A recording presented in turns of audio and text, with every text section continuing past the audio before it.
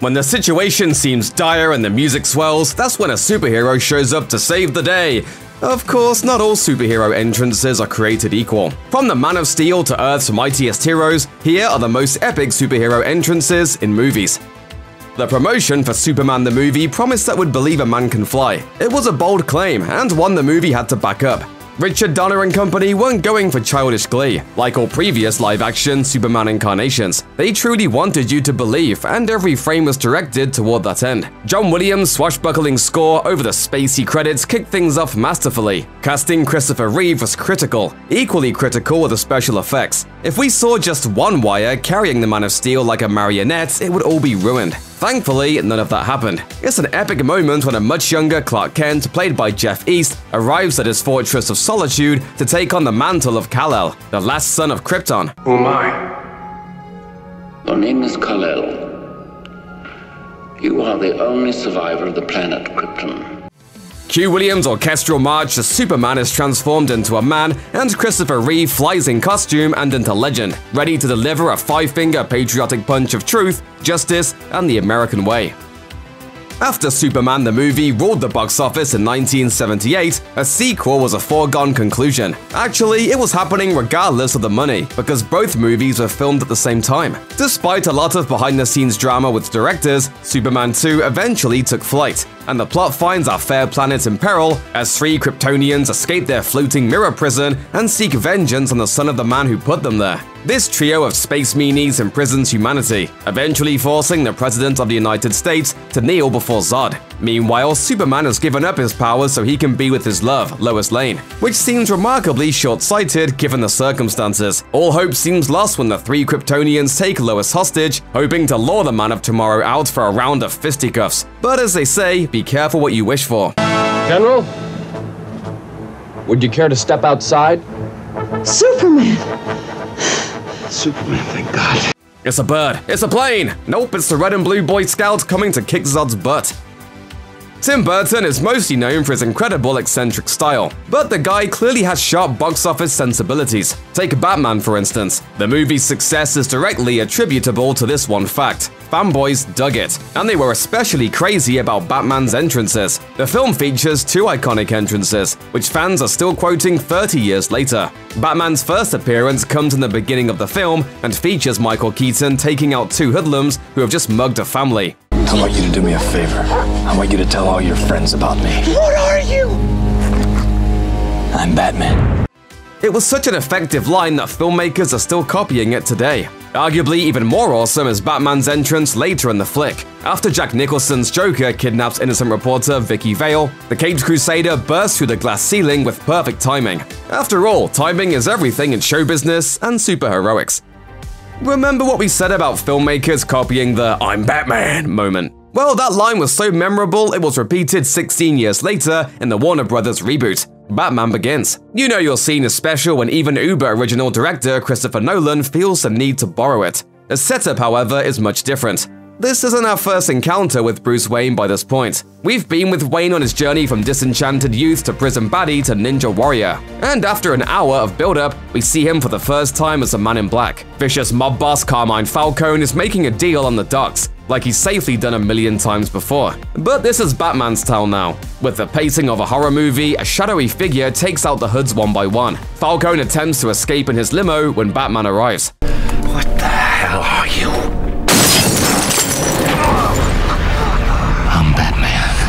Hey, just because a moment is an homage doesn't make it any less epic.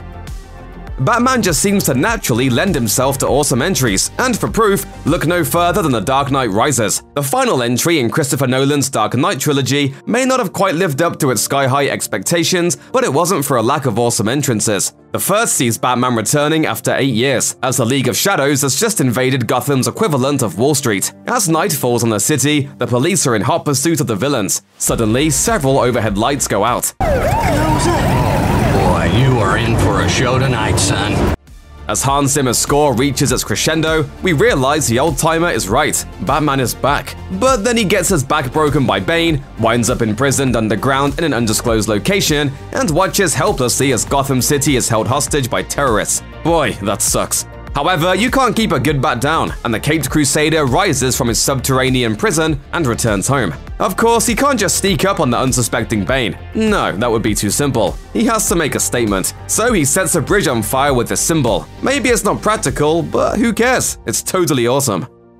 Superman Returns was not a great movie. It was so average, in fact, that Warner Brothers abandoned this $200 million franchise restart, only returning to the character after another seven year hiatus. All this aside, one iconic scene is unforgettable. Superman has been gone for five years. Lois Lane is on a commercial jet being carried by a NASA space shuttle, and the villainous Lex Luthor has just set off a global electromagnetic shock. And of course, that's when you know who returns to Earth. Through the windows of the jet, we see something red and blue streak by, faster than a speeding bullet, as the opening strings of John Williams' score tease Superman's arrival. Long story short, Superman saves the day. Well, I hope this experience hasn't put any of you off flying. Statistically speaking, it's still the safest way to travel. Nothing fancy, but bear in mind, this was the first time we got to see a live-action Superman with modern CGI special effects. The scene was the highlight of the film, proving that even a mediocre movie can have an epic entrance. The Avengers has more than its share of epic entrances. There's Iron Man rescuing Cap from Loki, and Thor riding a wave of lightning bolts to capture his imprisoned brother, just for starters. But the most memorable of the bunch comes in the film's final act, during the Battle of New York. A giant evil space slug is attacking New York City. Mild-mannered Bruce Banner arrives on a scooter, ready to take it out. Now might be a really good time for you to get angry. That's my secret, Cap. I'm always angry. This moment is actually two entrances for the price of one, as it immediately leads into the now classic Avengers wraparound scene. Originally, they were six individuals, now they're a team. Avengers Assemble. While there have been many attempts to bring Wonder Woman to the big screen, the Amazonian warrior princess hadn't been seen in live action since Lynda Carter. However, that changed in the most unlikely of places. The first on-screen pairing of Batman and Superman. Despite the disappointment that followed in its wake, it's hard to overstate just how monumental Batman v Superman Dawn of Justice was for fanboy culture. This was the first time Batman and Superman would share the screen in a live-action film. Plus, Wonder Woman was going to show up too. It should have been great. It was not. However, Wonder Woman's entrance was a dream come true for millions of fans worldwide. While Diana Prince had been a principal character in the film, she didn't appear in the red, blue, and gold until the final battle. Doomsday is about to blast Batman into oblivion when, with her now iconic Led Zeppelin-like theme wailing in the background, Wonder Woman appears to save the day. If your movie is only going to have one good moment, make it a great one. Spider-Man is Marvel's most famous character and one of the most popular heroes in comic book history. By the time Captain America Civil War arrived in 2016, the character had been on the screen five times, breaking several box office records along the way. Even after the dreadful Amazing Spider-Man films, fans worldwide wanted to see their favorite friendly neighborhood superhero in the Marvel Cinematic Universe. And sure, Spider-Man's entry in the MCU wasn't exactly heroic. There was little fanfare or saving of innocents. He simply swung into the middle of a tense confrontation between Iron Man and Captain America. Cap, Captain. Big fan of Spider-Man. Yeah, we'll talk about it later. Just Hey everyone. good job. He wasn't even really the focus of the scene. However, that was the point. Here was a fresh, unexpected vision of a character we'd grown accustomed to. Marvel's franchise star was taking a backseat to two characters who only in the last 15 years have become mainstream blockbuster stars in their own right. It reflected the characters perfectly. Here he was, a literal kid learning the ropes of how to be a hero. In other words, this was the essence of Spider-Man.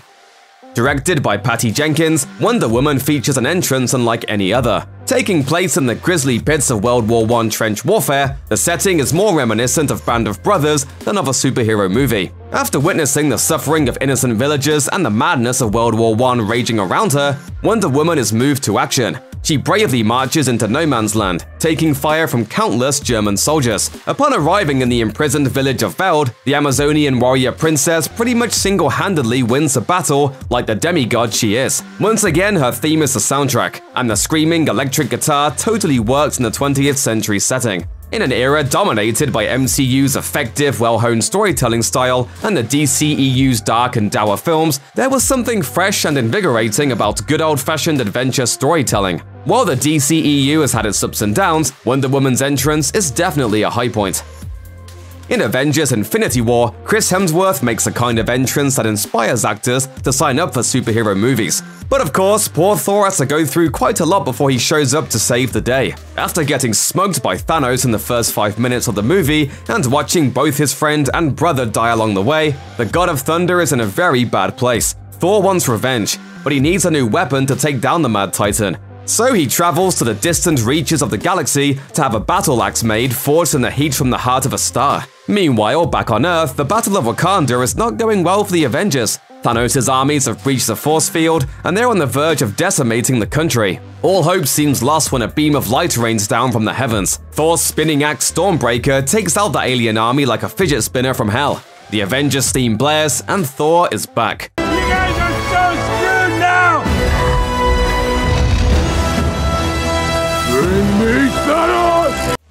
It's hilarious and awesome all at once. Moments like this are why Marvel is so unstoppable.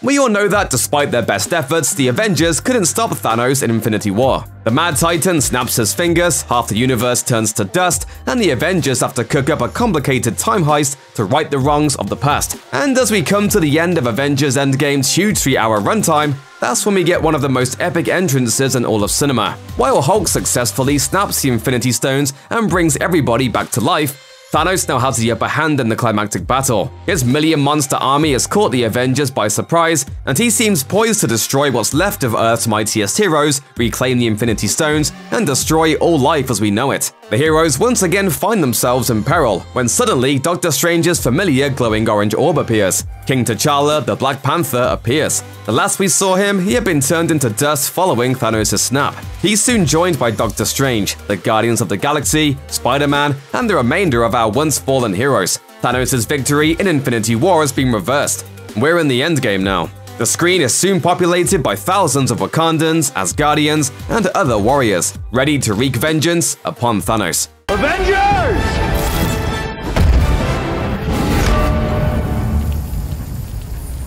Assemble. Only one word can describe such an entrance epic.